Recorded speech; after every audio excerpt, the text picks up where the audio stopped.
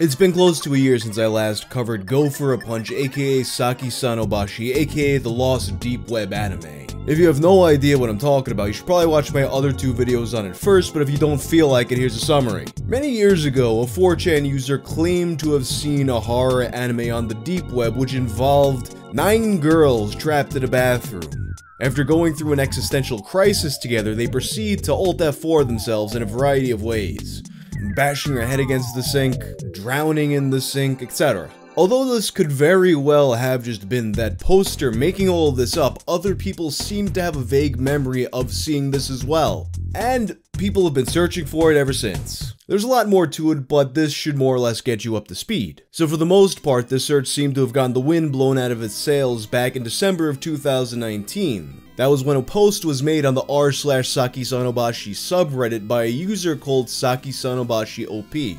I am the OP of Saki Sanobashi. It's fake, and I'm sorry. This post was removed very quickly for unknown reasons, but it was reposted the next day and this version remained. In the post, he claims that he made up the story originally just because he thought, you know, the person on 4chan asking for real deep web stories was kind of a dumbass. And he came up with the English title Go for a Punch because that sort of awkward naming in Japanese titles was common. My only purpose was to troll the OP of the original thread since he seemed pretty gullible seeing as he was asking people about the scariest thing that they've seen on the deep web and expected a serious answer from 4chan.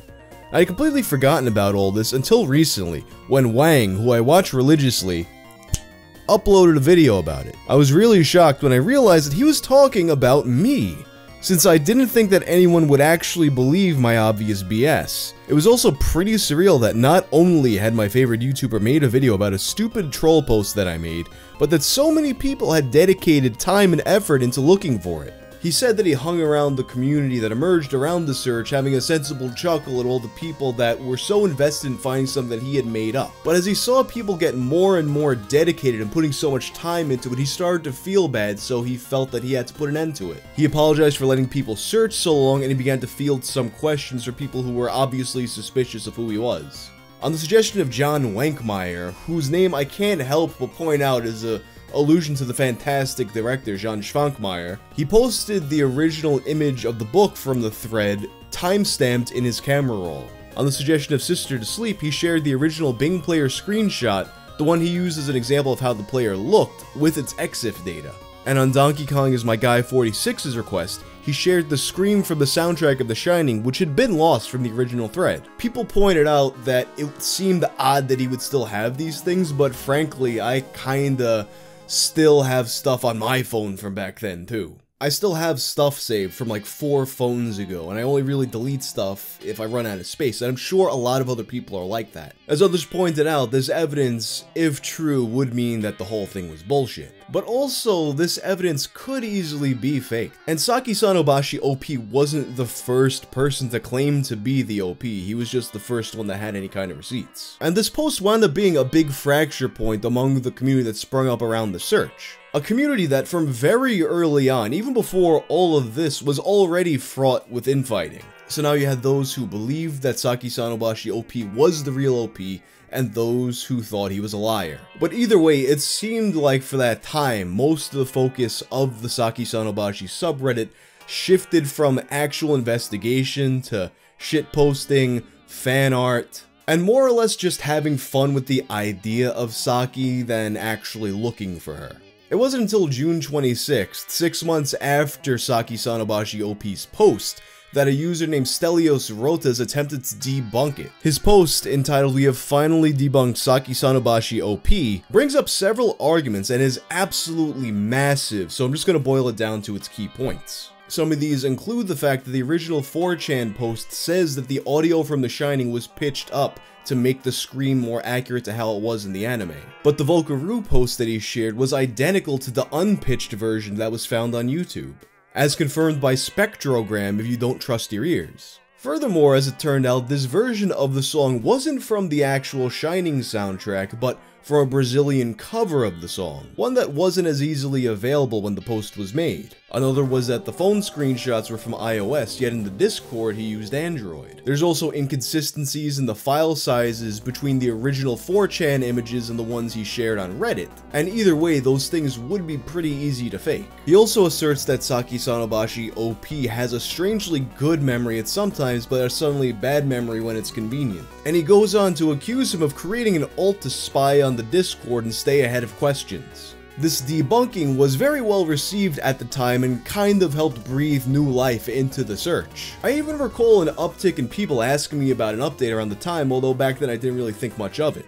But all that being said, despite some of this evidence that Saki Sanobashi OP was a fraud might seem damning on its face, every single thing that's brought up does have a potential rational explanation inconsistencies created by varying file compression algorithms, misremembering where he got the song, and potentially just fucking up the pitch shifting when he thought he did it right back in the day. There's also the potential for miscommunication and the fact that memory tends to actually be pretty touch and go. Some things you remember good and some things you don't. So we've got some circumstantial evidence here, but not really any kind of smoking gun. And Saki Sanobashi would return with a massive rebuttal to this post saying as much. A rebuttal that would receive another lengthy rebuttal from Stelios Rotas and that rebuttal would receive another rebuttal from Saki Sanobashi OP. And although I could go to each of these posts and break them down point by point, I really don't want to bore you with those details. In my opinion, there's no irrefutable proof on either side of this debate.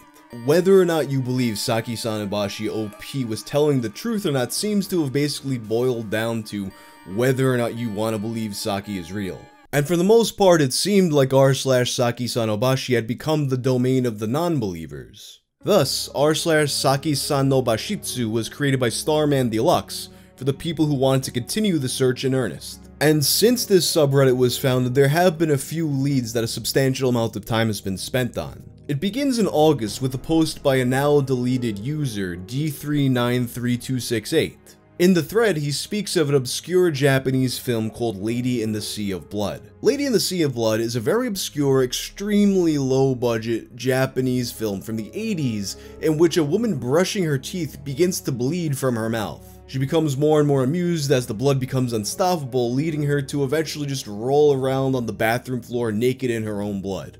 Although people knew of the existence of this film, it wasn't until 2019 that a distributor of obscure horror and exploitation films known as Twisted Anger got a hold of one of the three copies known to exist and began selling a DVD of it.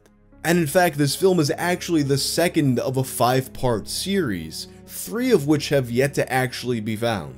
Obviously, this film is not Saki, but it was presented as proof that such obscure Japanese productions from the 80s did exist, and sometimes they had long, fruitless searches before they were actually found. Although granted, in this case, there was concrete proof that these films existed as opposed to Saki, which we don't know. And although this post wasn't specifically evidence for Saki, people became interested in the distributor Twisted Anger. As a company that deals specifically with this kind of obscure media, perhaps they might have some insight into Saki.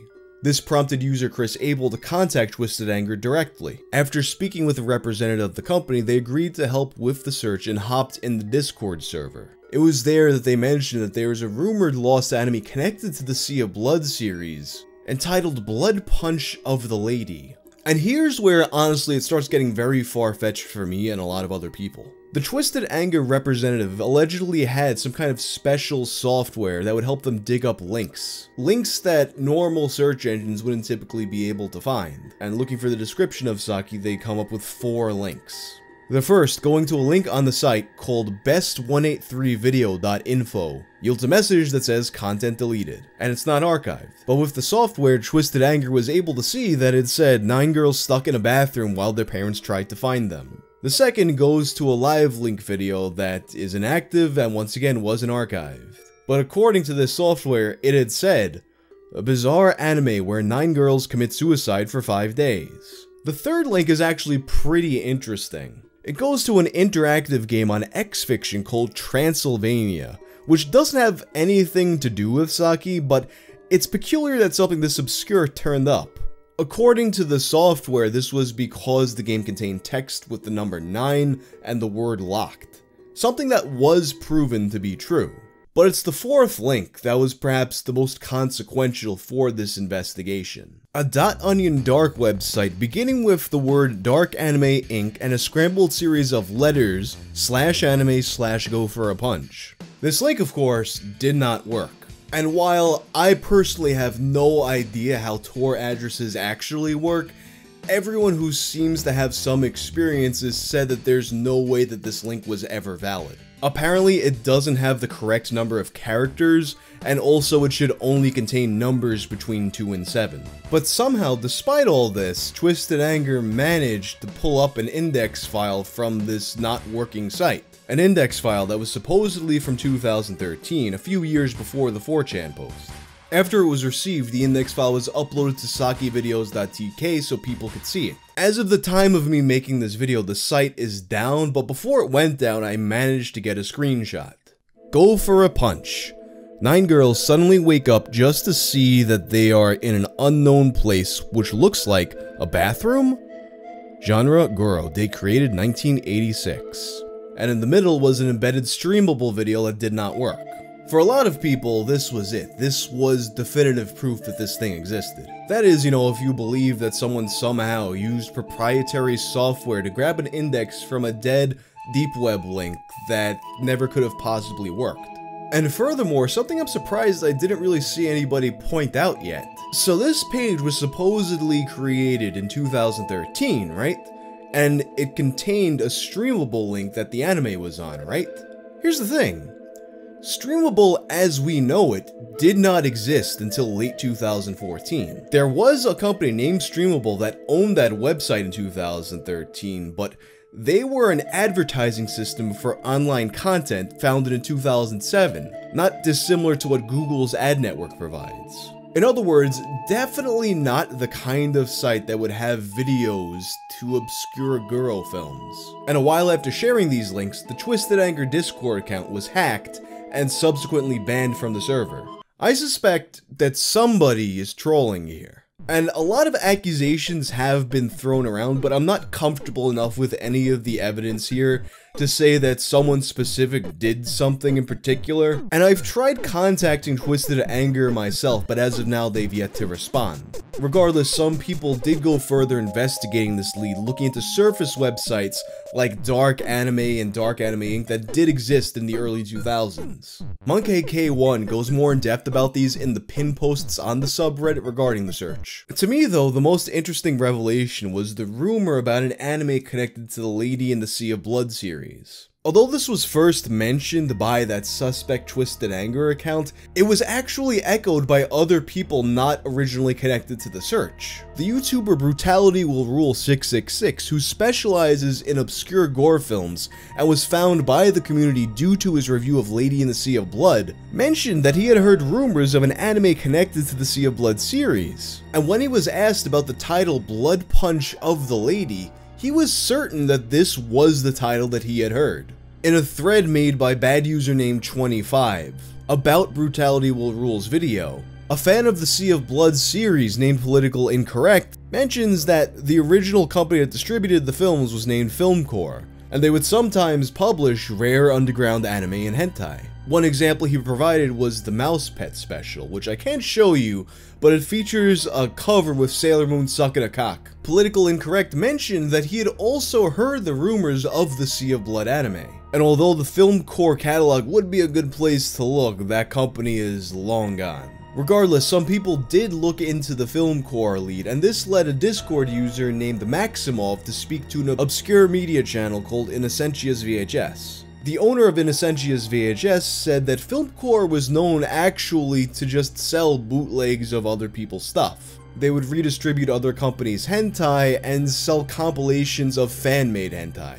Therefore, a better lead would be to simply look to the original creators of the hentai. And that being said, another user named Raised by Songs spoke to another distributor of obscure media called A Baroque House. In the short interview, they say that while it's possible that such an anime exists, it's very unlikely that it's connected to the Sea of Blood series. That's because the Sea of Blood series was almost certainly made just to make a quick buck and nothing more.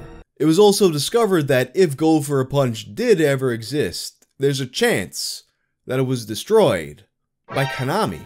I can't believe I'm surprised that this might all somehow lead back to Konami being Konami, even decades before Silent Hills. So in Japan, Konami has a series called Tokimeki Memorial, absolutely massive series that continues on to this day. And in these games, you can romance a cute anime girl and make her your waifu.